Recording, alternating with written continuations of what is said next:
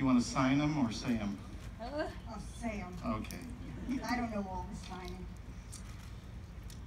In 1974, God used a best-selling book, I'm Okay, You're Okay, which was a non-Christian book, to lead me to Him.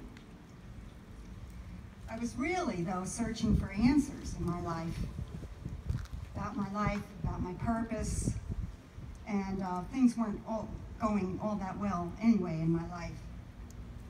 So I met a Protestant woman there named Carol, and she took me under her wing, and she helped me answer, she answered questions, but she used the Bible. And when she asked me if I had one, I said no. I never read a Bible or had owned a Bible. I was brought up differently, so she gave me a Bible, and she pointed me to passages in the Bible that were applicable to the questions I had, and I was getting answers, really good answers, and um, making me think because I had no idea what a personal relationship with Jesus was, um, the way I was brought up. So this was very new to me. I thought I was a good person because I didn't commit major sins. I didn't go rob banks or kill people, so I thought I was pretty good and I was going to heaven. But the Bible said you had to know Jesus. You had to believe in Jesus as your Savior. So it was a whole different thing. The Bible also said and says that all, in Romans 3.23, that all have sinned and fall short of the glory of God. I thought, hmm, I guess those little sins count. You know, I just couldn't get away with it anymore. I had to really be honest with what the word was saying and what I was really doing. So, one thing that Carol said to me that just blew me away was that, I can get this out,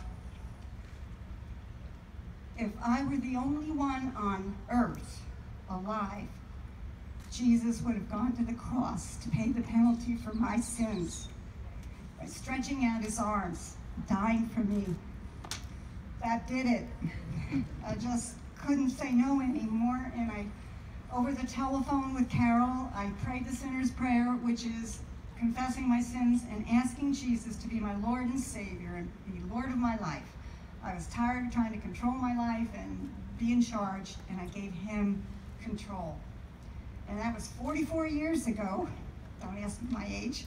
Um, it's a long time ago, and I've just had the, when, when I did that, at that moment, I instantly had such overwhelming, overflowing joy come into my heart it just instantly took away my depression and, and, and my sadness and it gave me hope. So I'm just thankful here that I did that 44 years ago. And if those of you haven't done that, you're missing out big time. You need the Lord now to do the rest of your life with Him. You just won't, you won't know, you just won't believe the difference. And I thank you and the worship team and the leadership here and the volunteers who all make this such a big happy family and we're growing spiritually, which is what really counts, um, icing on the cake. Thank you.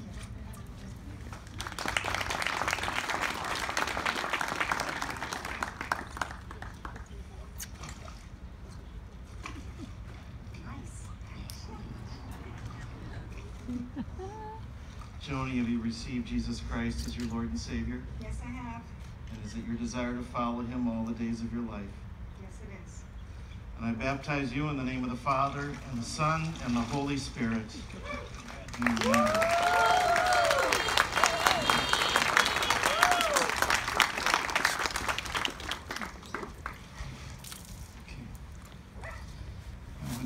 Bob